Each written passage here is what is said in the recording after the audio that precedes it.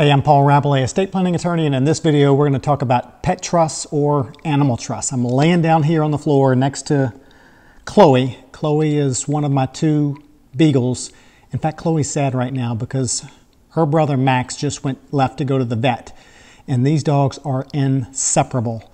So her brother and my wife aren't here, and so I can tell she looks sad. But nonetheless, um, I got down on the floor just to give it the full effect of the pet trust video. So let me let me just kind of set the record straight on this stuff. I, I have two dogs and I am not making a pet trust for my dogs. They're beagles. They they get good enough treatment. They're spoiled, but and I, and like I said, I'm not making a pet trust for them. For them. But I, I get the whole pet trust thing, so we're to go over it. So if it's something that you need or want, you'll have the information um, to take care of business. All right, so um, I'm in Louisiana. In Louisiana, in our trust code, we have these pet trust or animal trust provisions. I'm going to call it pet trust, even though the statute refers to animal trusts. And ours was enacted back in 2015. I think we were one of the last states to enact um, these animal trust provisions. And, and here's how they work. And so, um, if I were to set up a pet trust, which I'm not, I would designate um, in that trust both a caregiver who would have custody and be responsible for the care of the animals, and I would designate a trustee who would be, you know, responsible for managing the money in the trust. And if I didn't designate a caregiver, the trustee could designate a caregiver, and the trustee, his or herself, oh, could be a caregiver. Great, Chloe just walked off. Nonetheless, I'm going to finish the video. And in that will or trust, um, you would designate how much you would leave upon your death to that trust. And in the occasions where people in our office do that, they often designate maybe $10,000 or $5,000 or $25,000. And I recently handled one about a month ago where a gentleman left $100,000 to his dog. So, um, now, when somebody sets up an animal trust or a pet trust, they designate when that trust terminates, and it's typically when the animals die, and then they designate who would receive the remaining trust assets once the animals passed away. It might be the trustee, it might be all of the children of the person who set it up, or it might be to a charity, animal shelter, whatever, whatever um, the person wants to do but that's designated in the trust instrument. It's, it's a little um, odd that in the comments to the statutes in our trust code, it actually says that it's enough to create a pet trust by stating in someone's will, I leave $10,000 to my dog. That's enough. But I find that's really not enough because then it doesn't, that doesn't designate who a trustee is or a caregiver or who are beneficiaries, although that would be the person's heirs. So that's probably not enough.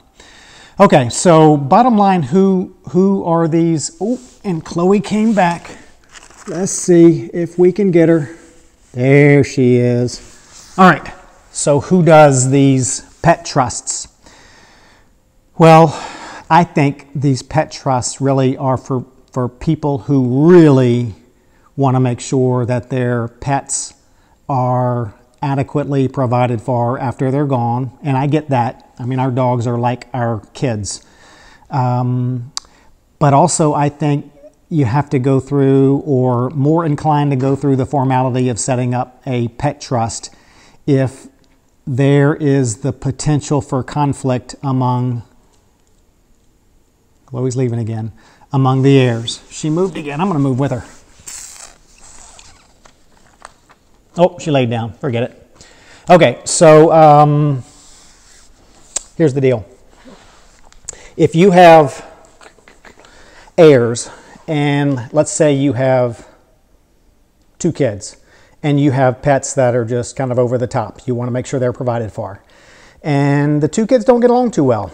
Um, in fact, one of the kids is pretty much a jerk and you don't have a pet trust and you just state, you know, when you die, you leave your estate to your children equally.